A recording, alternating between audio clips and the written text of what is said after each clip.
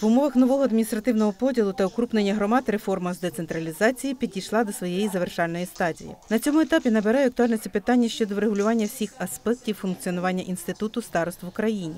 На замовлення парламентського комітету з питань організації державної влади громадська організація Деспро провела дослідження, в результаті яких було виявлено низку порушень та недотримання профільного законодавства. Старости саме ті представники самоврядування, що безпосередньо на землі працюють з мешканцями віддалених територій, тобто, як правило, віддалених сіл.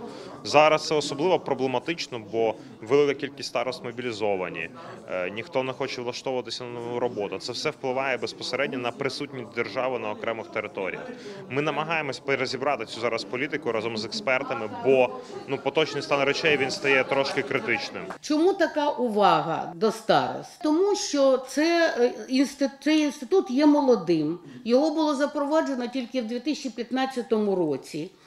І е, необхідно удосконалювати і далі те законодавство, яке стосується його е, функціонування.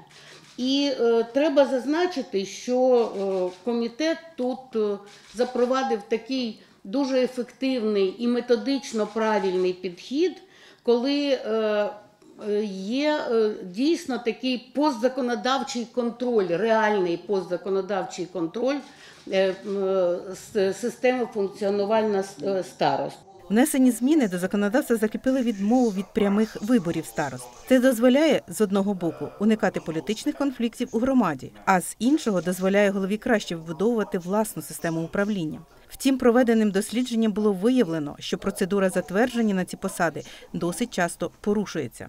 Поодинокі випадки е, потребують додаткового нашого дослідження, тому що в рішеннях місцевих рад було визначено про незастосування вимог частини 1 статті 54 прим. 1 щодо громадського обговорення. Як на мене, місцева рада точно не може скасовувати е, законодавчі ініціативи, які є чинними. Посада старости наймолодша в сучасному законодавстві про місцеве самоврядування. Проте, з'явившись спочатку децентралізації, до цього часу вона зазнала численних змін. Процес вдосконалення функціональних особливостей на нижчого рівня влади, яка є найближчою до людей, триває. Інститут старост молодий. Питань виникає дуже багато. Є дуже багато дискусій на рівні асоціацій, є обговорення і на рівні громад. Ми розуміємо, що багато громад вперше створені. Там не лише староста, ще е, багато питань у нього є по роботі, але й голови громад ще не все розуміють. Тому сьогодні обговорили питання навчання, підготовки спеціалістів і от таких зустрічей із залученням всіх гілок влади, щоб це питання довести. Ну до ідеального стану ми, мабуть, ніколи не доведемо, але хоча б для того, щоб цей закон працював і органи місцевого самоврядування на місцях також були дієвими і ефективними. Це е, складова, яка одна з найближчих до громадян. Вся реформа децентралізації направлена саме на громадян. Якомога ближче е, прийняття рішень, е, якомога більше впливу громадян на місцеву владу, на регіональну владу, на національну владу.